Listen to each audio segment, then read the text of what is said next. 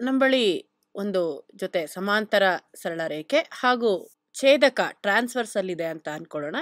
ಈಗ ಇದು ನನ್ನ ಬಳಿ ಇರುವಂತಹ ಒಂದು ಸರಳ ರೇಖೆ ಆಗಿದೆ. ಇದಕ್ಕೆ ಸಮಾಂತರವಾಗಿ ಈ ರೀತಿಯಾಗಿ ಮತ್ತೊಂದು ಸರಳ ರೇಖೆ ಇದೆ ಅಂತ ಅಂದ್ಕೊಳ್ಳೋಣ. ನಾನೀಗ ಹೇಳ್ತಾ ಇರೋದು ಈ ಎರಡು ರೇಖೆಗಳು ಸಹ ಸಮಾಂತರ ಸರಳ ರೇಖೆಗಳಾಗಿವೆ. ಈಗ ಈ ಎರಡು ಸಮಾಂತರ ಸರಳ ರೇಖೆಯನ್ನು ಒಂದು ಛೇದಕ ರೇಖೆ ಛೇದಿಸ್ತಾ ಇದೆ ಅಂತ ಅಂದ್ಕೊಂಡ್ರೆ ಇದು ಛೇದಕ ರೇಖೆ ಆಗಿದೆ. ಈ ಛೇದಕ ರೇಖೆ ಈ ಎರಡು ಸಮಾಂತರ ಸರಳ ರೇಖೆಯನ್ನು ಈ ಎರಡು ಬಿಂದುಗಳಲ್ಲಿ ಛೇದಿಸ್ತಾ ಇದೆ. ಈಗ ನಮಗೆ ಈ ಛೇದಕ ರೇಖೆ ಮತ್ತು ಈ ಸಮಾಂತರ ರೇಖೆ ಉಂಟು ಮಾಡ್ತಾ ಇರುವಂತಹ ಒಂದು ಕೋನ ತಿಳಿದಿದೆ ಅಂತ ಅಂದ್ಕೊಂಡ್ರೆ ಉದಾಹರಣೆಗೆ ನನಗೆ ಈ ಛೇದಕ ರೇಖೆ ಈ ರೇಖೆಯೊಂದಿಗೆ ಉಂಟು ಮಾಡ್ತಾ ಇರುವಂತಹ ಕೋನ ಈ ಒಂದು ಬಿಂದುವಿನಲ್ಲಿ ನೂರ ಹತ್ತು ಡಿಗ್ರಿ ಅಂತ ಹೇಳಿ ನನಗೆ ತಿಳಿದಿದೆ ಅಂತ ಹೇಳಿದ್ರೆ, ನನಗೀಗ ಇನ್ನು ಉಳಿದ ಎಲ್ಲ ಕೋನಗಳ ಅಳತೆಯನ್ನು ಕಂಡುಹಿಡಿಯಬೇಕಾಗಿದೆ, ಪತ್ತೆ ಹಚ್ಚಬೇಕಾಗಿದೆ. ಹೇಗೆ ಪತ್ತೆ ಹಚ್ಚೋದು? ನಮಗೀಗ ಆಲ್ರೆಡಿ ಗೊತ್ತಿದೆ, ಈ ಎರಡು ರೇಖೆಗಳು ಸಮಾಂತರ ಸರಳ ರೇಖೆಗಳಾಗಿವೆ ಅಂತ ಹೇಳಿ. ಒಂದು ಜೊತೆ ಸಮಾಂತರ ಸರಳ ರೇಖೆಯನ್ನು ಒಂದು ಛೇದಕ ಛೇದಿಸಿದಾಗ ಛೇದಿಸುವ ಬಿಂದುವಿನಲ್ಲಿ ಉಂಟಾಗುವಂತಹ ಅನುರೂಪ ಕೋನಗಳು ಪರಸ್ಪರ ಸಮ ಆಗಿರ್ತವೆ. If angles are equal corresponding angles are equal ಅಂತ ಹೇಳಿ ನಮಗೆ ಗೊತ್ತಿದೆ. ಅಂದರೆ ಇದು ನೂರ ಹತ್ತು ಡಿಗ್ರಿ ಇದೆ ಅಂತ ಹೇಳಿದ್ರೆ ಈ ಛೇದಕ ರೇಖೆ ಮತ್ತು ಈ ಸರಳ ರೇಖೆಯಿಂದ ಉಂಟಾಗ್ತಾ ಇರುವಂತಹ ಕೋನ.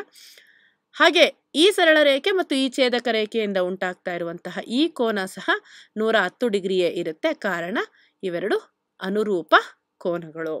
ಹಾಗೆ ನಮಗೆ ಮತ್ತೊಂದು ಮಾಹಿತಿ ತಿಳಿದಿದೆ.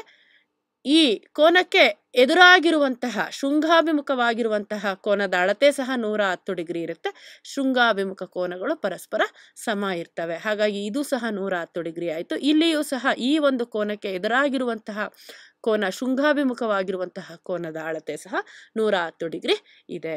ಇನ್ನು ಈ ಒಂದು ಕೋನದ ಅಳತೆಯನ್ನು ತಿಳಿಯೋಣ. ಈ ಒಂದು ಬಣ್ಣದಿಂದ ಉಂಟು ಮಾಡ್ತಾ ಇರುವಂತಹ ಈ ಕೋನದ ಅಳತೆ ಎಷ್ಟು ಅಂತ ನೋಡೋದಾದರೆ, ನೀವಿಲ್ಲಿ ಗಮನಿಸ್ಬೋದು ಈ ಎರಡೂ ಕೋನಗಳು ಪಾರ್ಶ್ವ ಕೋನಗಳಾಗಿವೆ.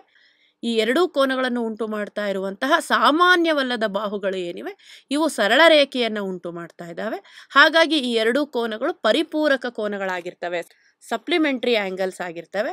ಹಾಗಾಗಿ ಇದರ ಒಂದು ಅಳತೆ ಎಪ್ಪತ್ತು ಡಿಗ್ರಿ ಆಗುತ್ತೆ.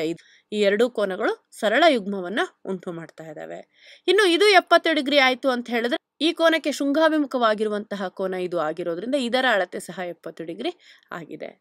ಇನ್ನು ನಾವು ಈ ಒಂದು ಕೋನದ ಅಳತೆಯನ್ನು ನಾವು ಕನ್ಸಿಡರ್ ಮಾಡಿದ್ವಿ ಅಂತ ಹೇಳಿದ್ರೆ, ನೀವಿಲ್ಲಿ ಮಲ್ಟಿಪಲ್ ಇನ್ಫಾರ್ಮೇಷನ್ನ ಬಳಸ್ಕೋಬಹುದು ಒಂದು, ಈ ಕೋನ ಮತ್ತು ಈ ಕೋನ ಅನುರೂಪ ಕೋನಗಳಾಗಿರ್ತವೆ. ಹಾಗಾಗಿ ಈ ಕೋನ ಸಹ ಎಪ್ಪತ್ತು ಡಿಗ್ರಿ ಅಂತ ಹೇಳೋದು.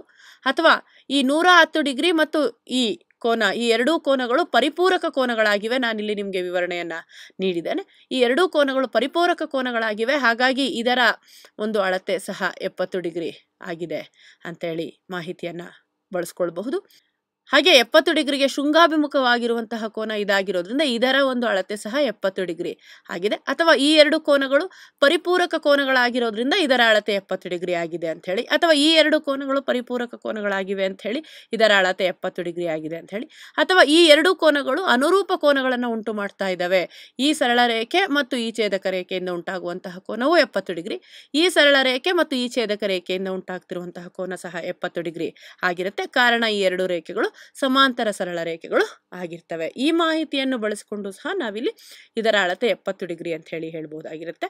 ನಾವೀಗ ಉಳಿದೆಲ್ಲ ಕೋನಗಳನ್ನು ಪತ್ತೆ ಹಚ್ಚಿದ್ದೇವೆ.